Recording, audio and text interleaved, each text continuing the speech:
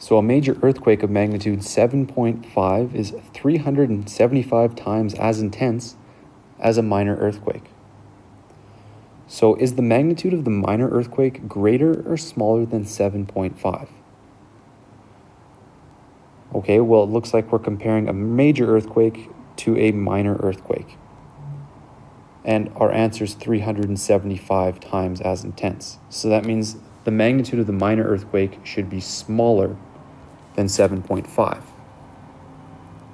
Right? If it was larger, then we'd end up with a fraction as a fraction times as intense.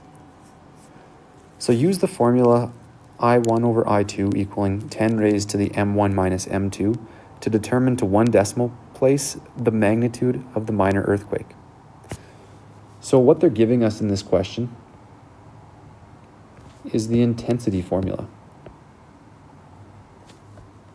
Right? I1 over I2 equals 375 times as intense. This will equal M1, and the minor earthquake will equal M2. So we'll plug, in the, plug those values into our equation and then solve.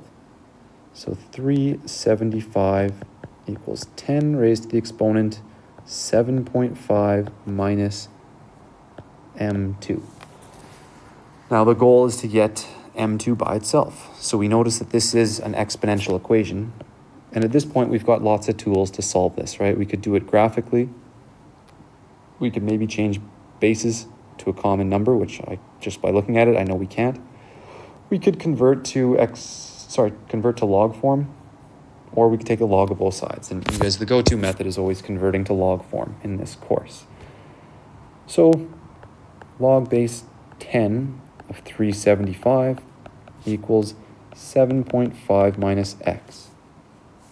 A little bit of algebra to get x by itself. So I'm going to add an x to both sides to make it positive.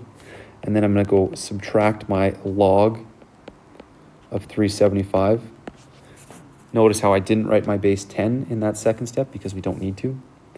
So x is equal to 4.925, which will round to one decimal place. So a magnitude 4.9 earthquake.